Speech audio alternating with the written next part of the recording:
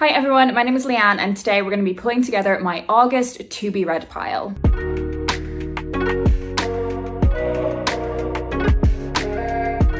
So I have never really been like a monthly TBR kind of person. I would pull together TBRs for like specific readathons that have specific challenges and themes.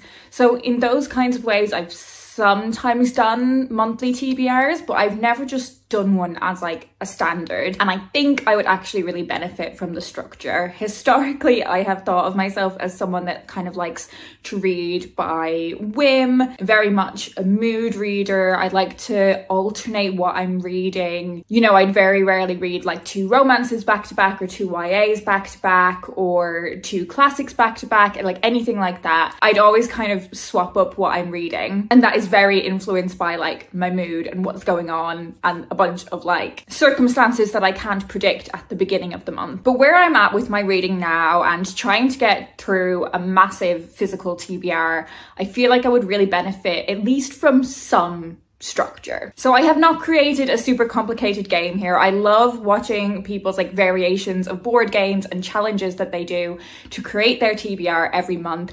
Uh, I don't want anything that complicated. I would like something quite simple. So I've created a TBR jar. Technically, it's a TBR sugar bowl. It has never held sugar before, but this has been with me since I think 2018. It did break once and there's a big crack in it, um, but it has survived five house moves. I have put a bunch of prompts in here and my boyfriend has also put some prompts in. So obviously I know the ones that I've put in. I don't know what he's put in, so they will be a surprise to me. I'm gonna pick out five prompts every month and pick a book off my shelf that fits those prompts. So that will still give me some flexibility. I don't know why I'm still holding this. That will still give me some flexibility to read by whim and mood read, but it will just give me a little bit of structure. It will prevent me from having the indecision of what I read next, the running late for work and realizing that I need a new book for my commute and not knowing what to pick off the shelves. It will solve that problem for me. I've had a bit of a reshuffle of my shelves recently, and if you would like me to do a full bookshelf tour, do let me know. What is going to be tricky is I'm mainly going to pick books off these shelves which have the vast majority of my fiction on them, but I do have some hardback fiction books in my bedroom and all of my non-fiction is in my bedroom as well. So it might just be a bit more challenging to kind of just remember those books are there. But anyway, I'm gonna give this a stir. Okay, the first one I picked out is one that I wrote, and that is a place name in the title. So that is book number one.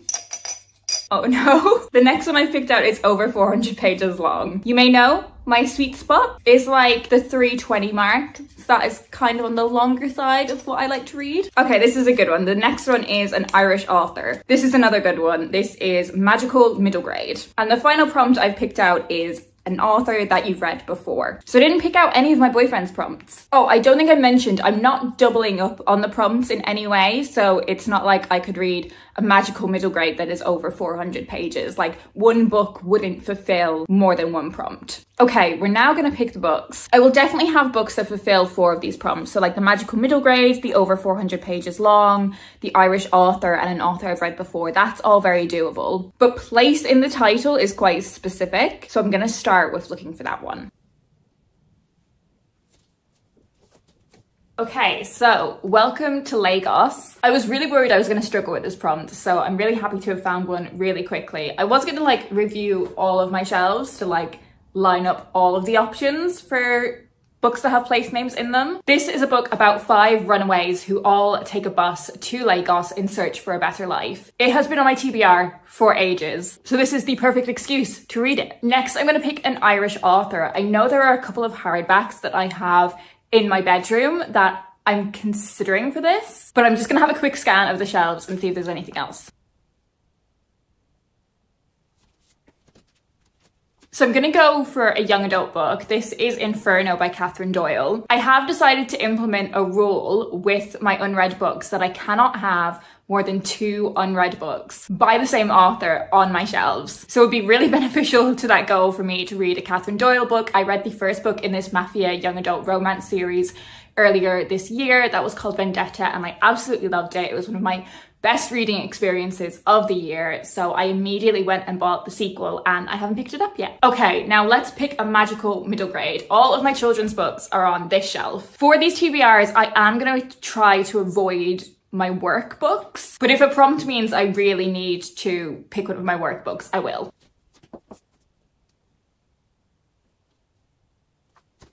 So for this, I'm going for Like a Curse by Elle McNicoll. This is another sequel. It's the follow-up to Like a Charm. If it's the prompt, it's a magical middle grade. It is witchy. It is set in Scotland. I don't remember loads about the first book other than I enjoyed it. But I pre-ordered this when it was first released and I haven't got around to reading it yet. I love Elle McNicoll, so I'm gonna enjoy this. Okay, the one that also feels quite specific is over 400 pages long. Like an author I've read before should be quite easy. I mean, two of these books are authors that I've read before. So let's try find a book that is over 400 pages.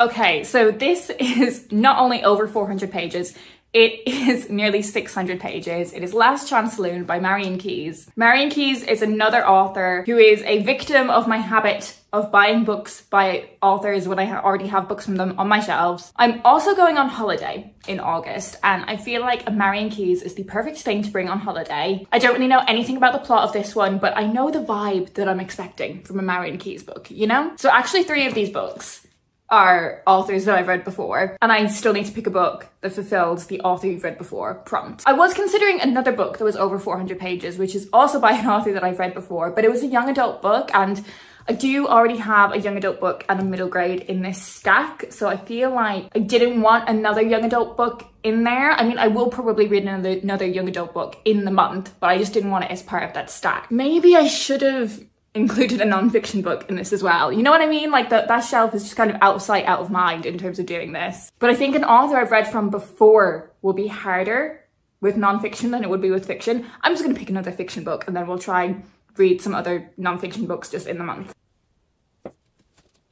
Love Her or Lose Her by Tessa Bailey. This is the second book in the Hot and Hammered series. Fix Her Up is one of my favourite reads of the year so far. So I definitely really want to read the sequel. An author I've read from before, another author that is one of those authors that I have multiple books from them on my shelf. I don't already have just like a straight up contemporary spicy romance on this pile, so I'm gonna add this one. I need to find a better way of filming this that isn't me just bent over and breaking my back a little bit. So this is the pile that I'm going to be reading in August. I mean, I will certainly try and read some other stuff, maybe some shorter stuff to kind of break these up, maybe incorporate some nonfiction as well, because there is no nonfiction in this stack. I'll probably read some workbooks in the month as well. It's really hot. I'm gonna go sit down again. okay, that's better. I think it's a relatively balanced stack, you know? I maybe could have come up with some alternate options if I'd spent a bit more time choosing. But the whole point of doing these prompts was to take away that time spent choosing. So I'm glad that I just kind of went immediately off what I saw quickly. It is interesting how I wasn't consciously kind of thinking about picking sequels, but I've ended up picking three of them. And I did notice as I went along that I was picking authors that I had read from before. But I do really like that I'm incorporating my desire to not have more than two unread books by the same author on my shelves and I'm kind of chipping away at that. I feel like five books is a good number as well. Like I definitely still have some opportunity to read by whim. It's probably like half of what I will read in the month. Do you have any ways that you kind of gamify or prompt your reading? I would love to know down in the comments. Or if you would like to add a prompt to the TBR jar, leave it in a comment down below and I will add it in. I feel like I slightly struggled to come up with prompts. So honestly, I would love it if you could leave as many as you could down in the comments. Even if it doubles up with something that's already in there, because obviously I don't know what my boyfriend's put in there. It can just be added in again. It's fine. I can't believe I was annoyed that I picked out a book over 400 pages and I decided to unnecessarily give myself a book that was nearly 600 pages. Anyways, that is it for me today. I hope you're doing well and I will speak to you in my next video.